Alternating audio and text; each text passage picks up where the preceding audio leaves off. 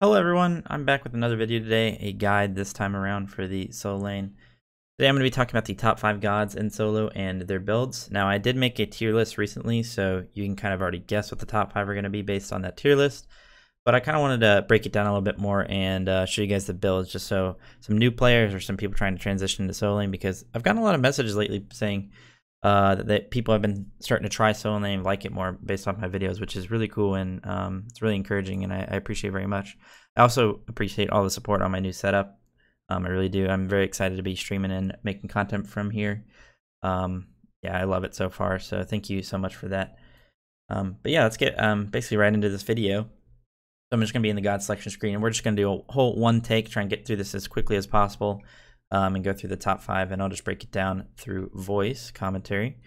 Um, starting out at number five, I'm going to be throwing in Achilles at number five. Now, keep in mind, I'll just go ahead and preface the rest of this video with this.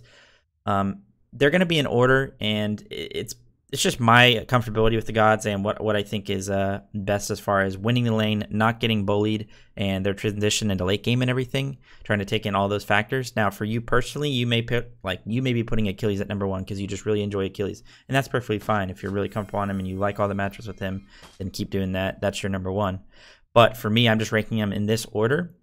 But I highly encourage that you try every god out in the top five because I do think these are probably your top five most impactful gods in solo lane going into season seven with these specific builds. So yeah, Achilles number five. Not really too much of a surprise that he's in the uh, top five, considering he was so good last season. There hasn't really been too many changes. He's gotten nerfed a little bit, but some in some ways he's also gotten buffed. Um, so yeah, Achilles number five. I'm going to show you guys this build. Starting out, Warrior's Blessing is just too OP right now. You're going to see it in every single one of these builds. There's going to be a little bit of leeway and like uh, some builds I'm going to show you, but Warrior's Blessing is kind of just the go-to.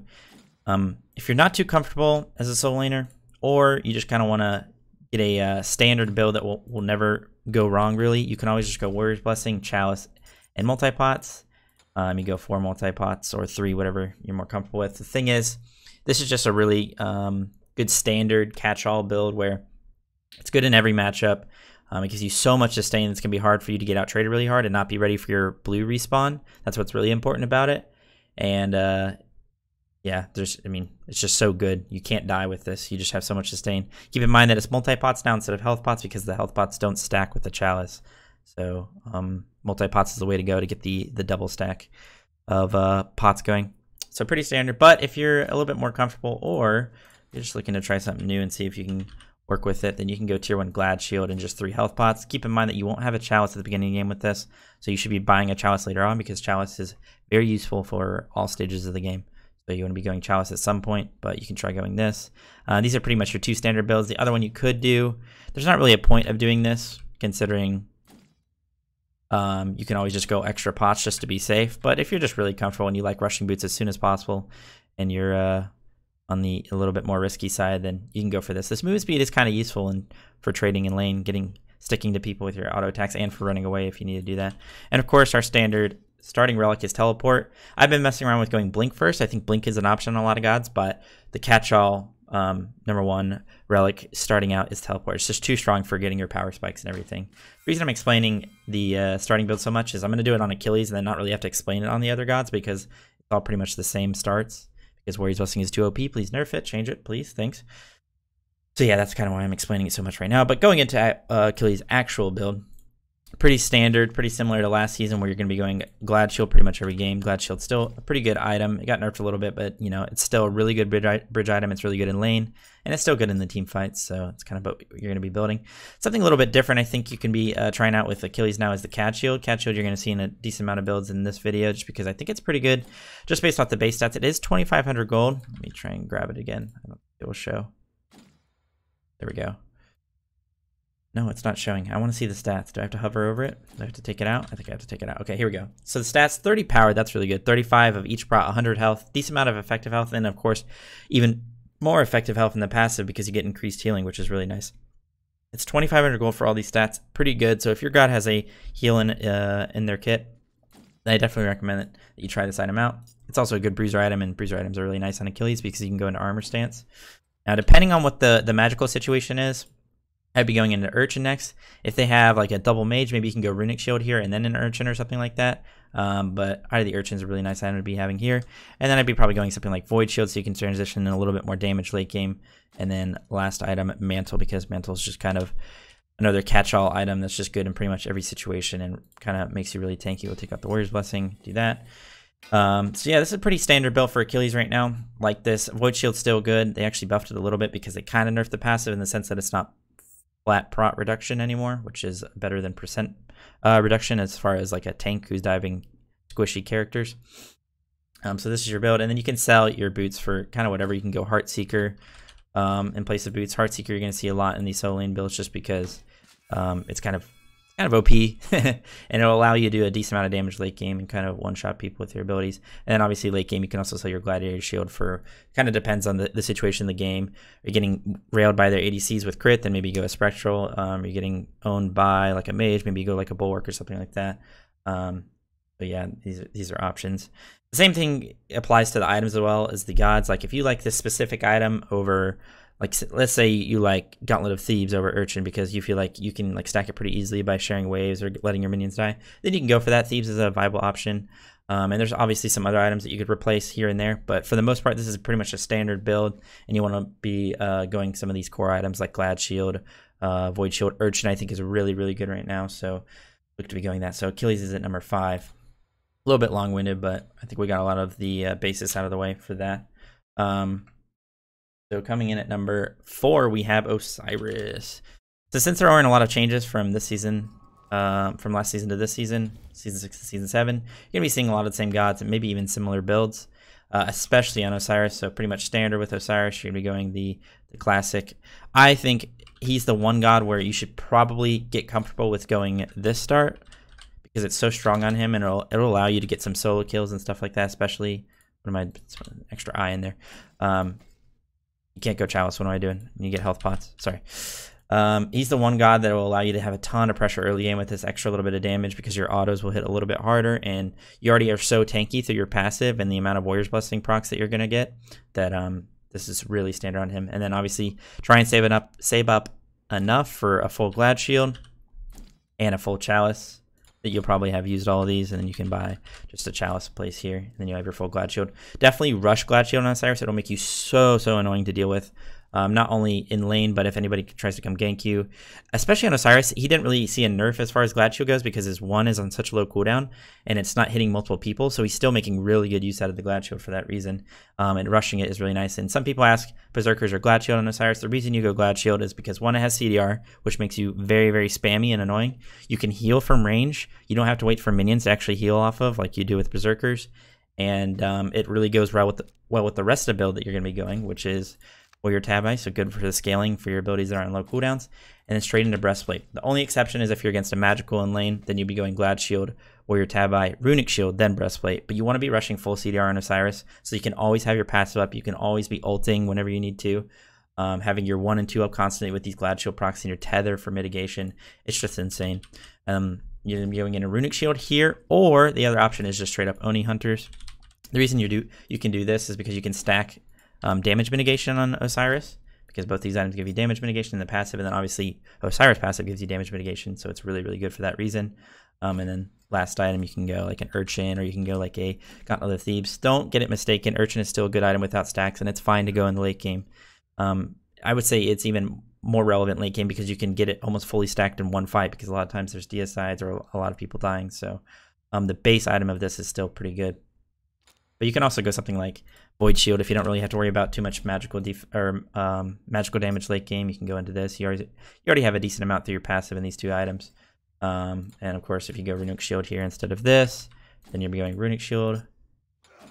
Um, oh, I don't know why I deleted that. Spirit Robe here. Or Urchin. You can also go Urchin here. This would work. Kind of like that as well as a fifth item. Just maybe get the stacks a little bit earlier. And then go into Spirit Robe.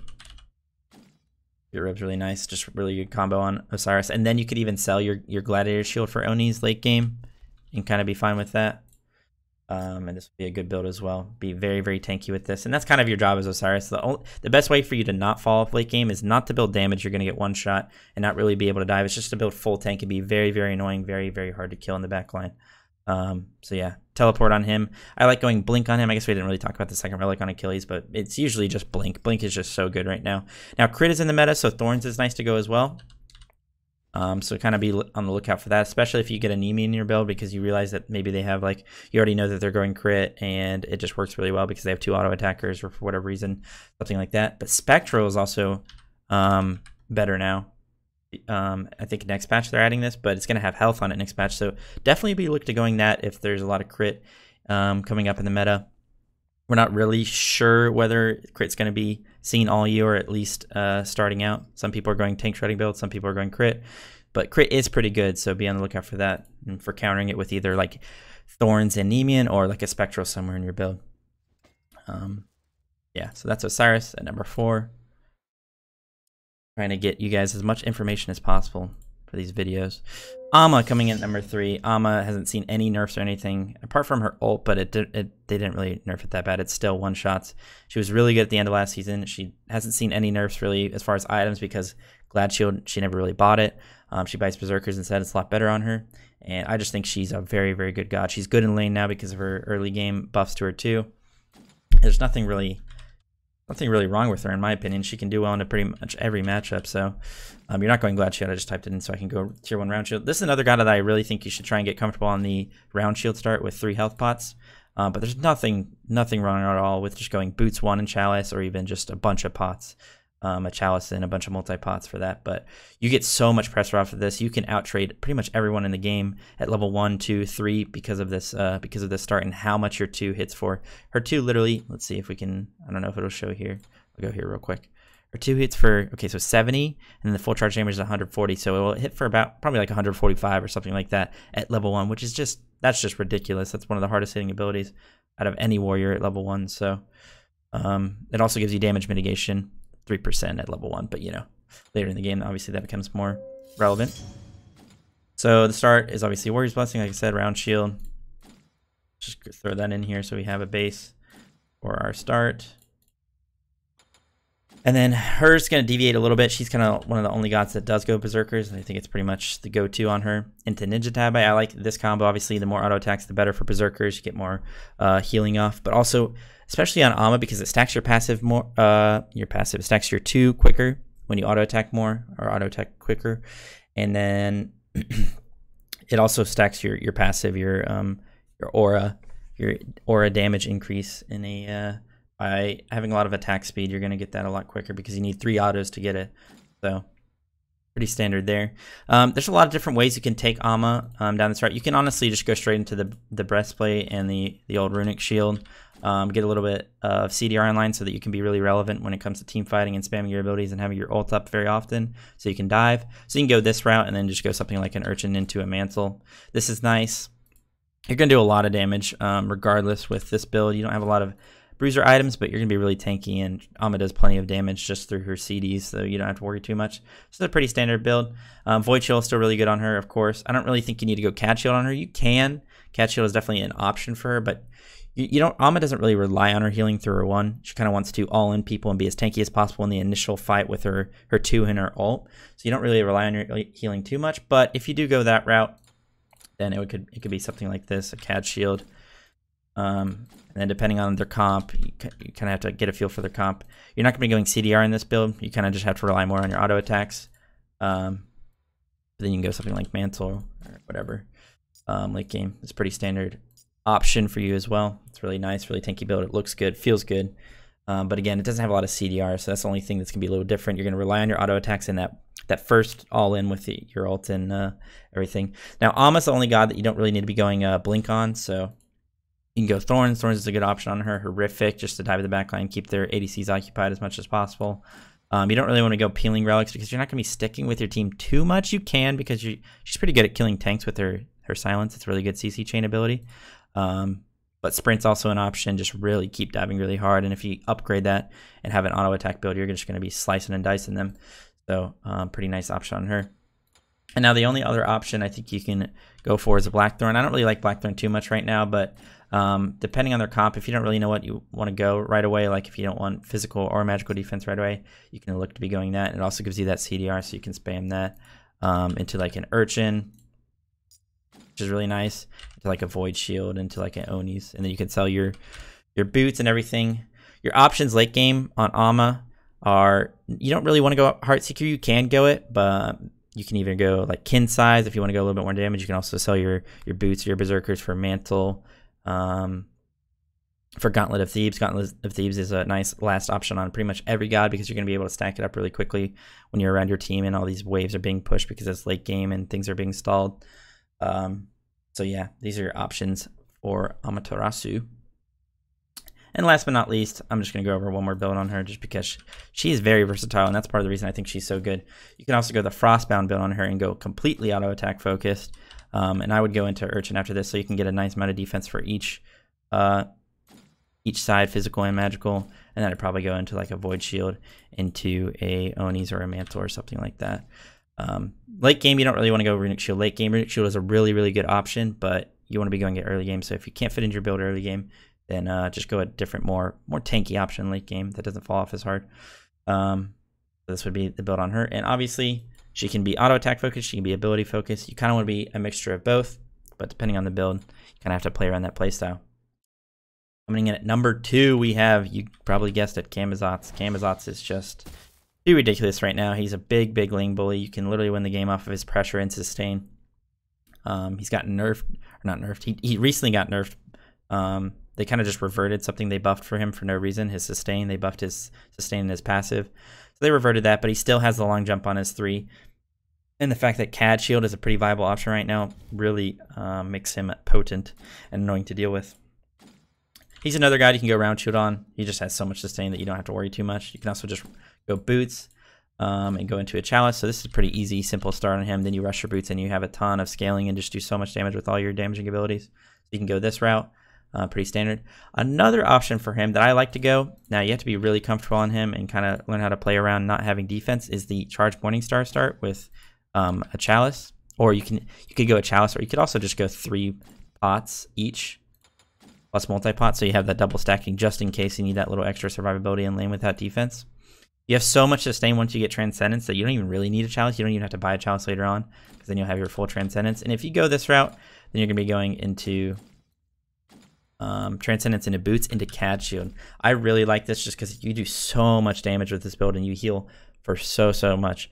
The only time I probably wouldn't go this is if I'm against like an Osiris, an Ama, uh, maybe maybe an Arthur, or maybe a Joram. Just any god that can really, really hard pressure you early game that can pretty much solo you if you don't have Warrior's Blessing or uh, any defense in the early game.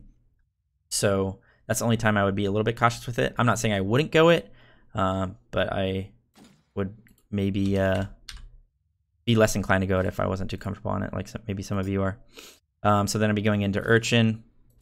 You kind of don't want to fall off too hard late game, so this is where you want to be transitioning into those damage items like I talked about in my tier list video. And another reason Camazotz's so good right now is he makes really good use of these of these uh, um, assassin items that are just so potent right now because he has so many damaging abilities. And he can go into the air and kind of just immune stuff and not have to worry about having too much defense.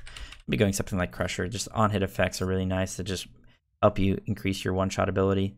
And then uh, late game, you can sell this for like Mantle, and then you're gonna be sitting pretty tanky. Like you're pretty tanky with this build, especially if at this point you have your Urchin pretty highly stacked. We're looking at a good amount of defense and health, and obviously your sustain and damaging uh, ability is just gonna be through the roof. So that's an option you can go with this build. But the more standard and thing I would probably recommend more often, I, am clicking X and it's not disappearing. Um, the more standard and probably thing I'd recommend more often than not.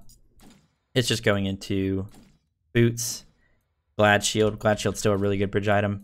People ask, well, they're going to be building anti-heal against you, so it's kind of weird to build Glad Shield, and that's what I kind of thought in the past, but the problem is there's not really a good first option for Camazotz or any of these like Bruiser Assassin solos or Bruiser Warrior solos. Right now, there's not really good first options for us because you don't really want to go Breastplate because you want to have a little bit more damage in your build.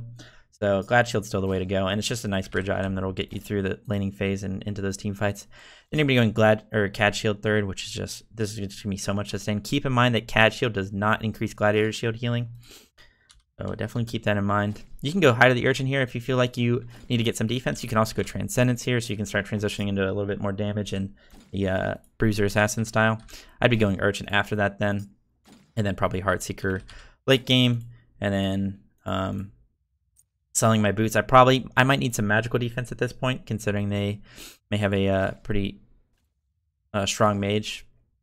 If they have like double mage, then I might be getting some magical defense a little bit earlier, but that's not going to happen too often, so you don't have to worry about it too much. So you can go a runic shield. The reason I say runic shield late game on Camazotz is just because that little bit of extra power with that all that scaling that you're already getting through all these items is actually gonna be really nice.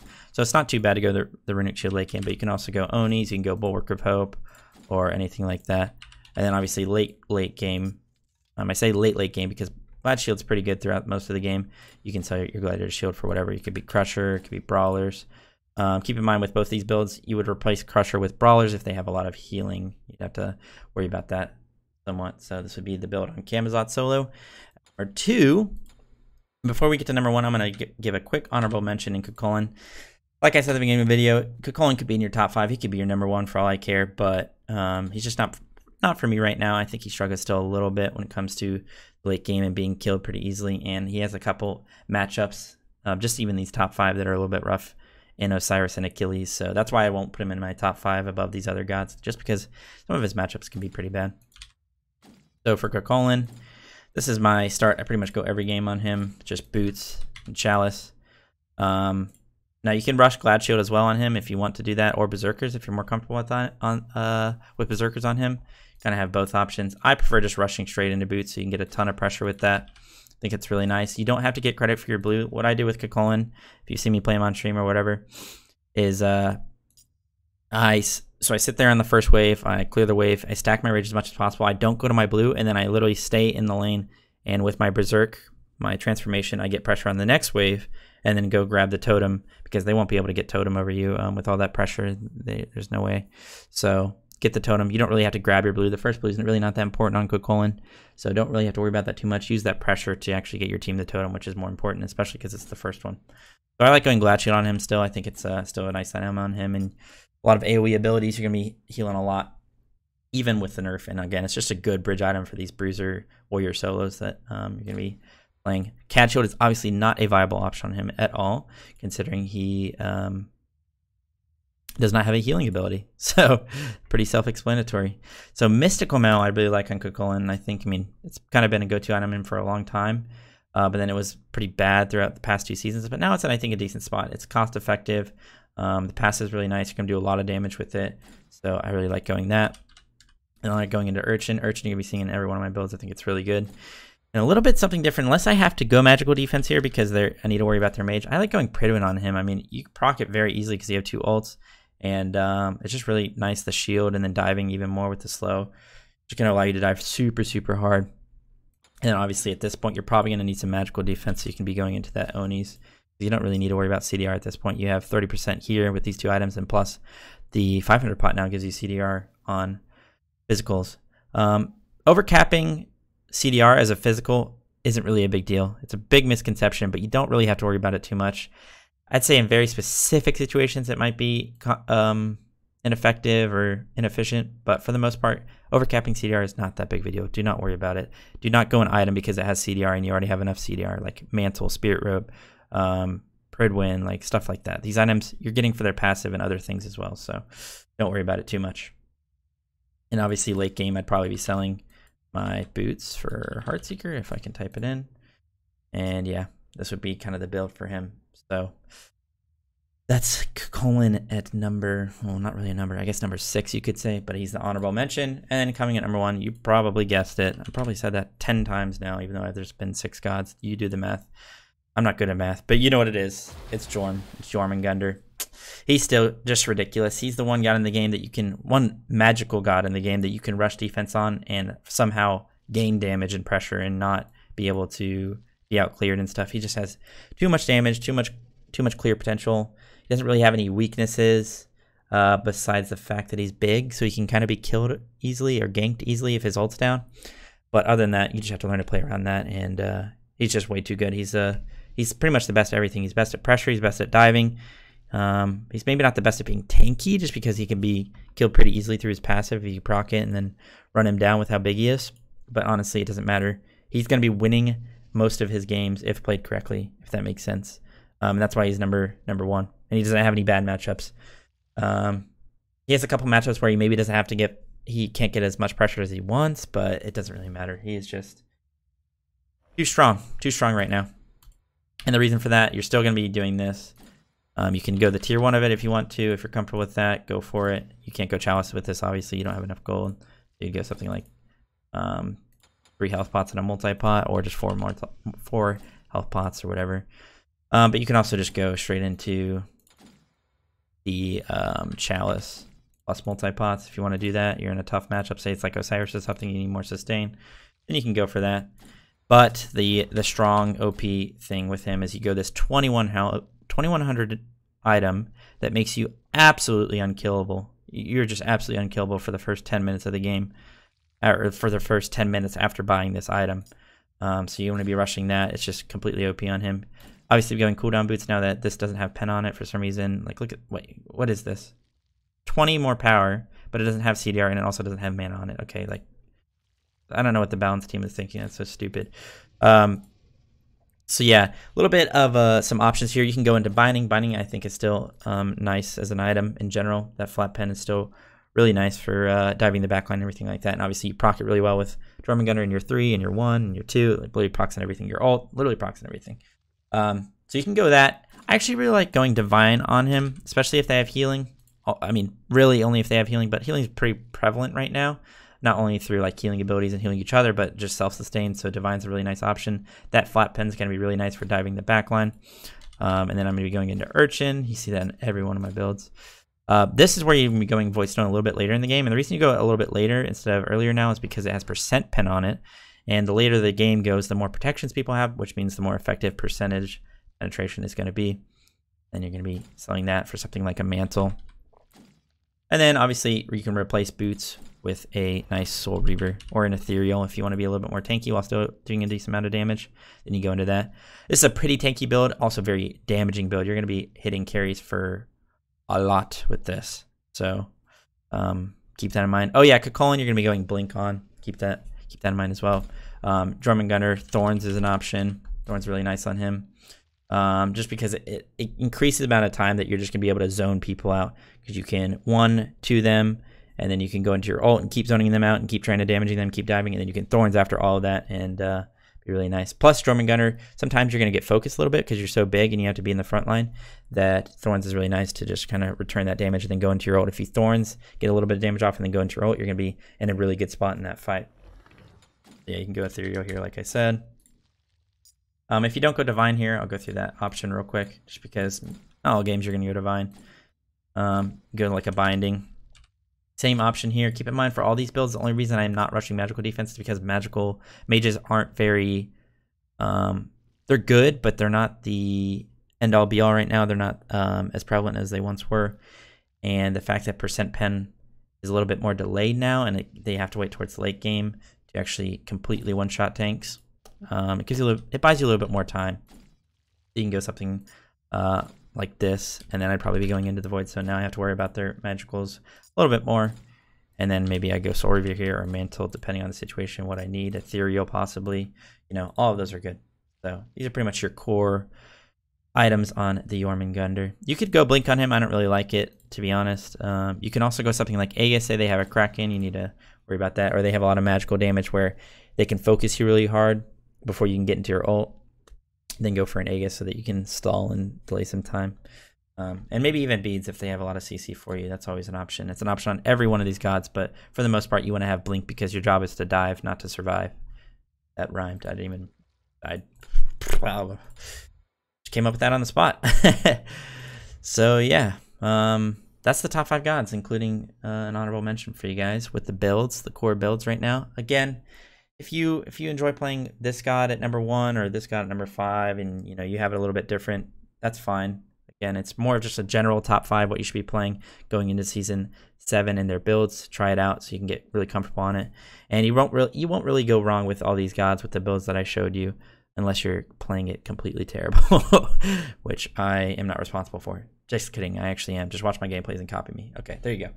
Yeah, I hope you guys enjoyed this little um little guide. Hopefully you guys learned a thing or two. It was a little bit long-winded, but I tried to give you guys as much information as possible because you know Smite's constantly changing, and us content creators, us um, I guess guide creators and people trying to show you how to play the game.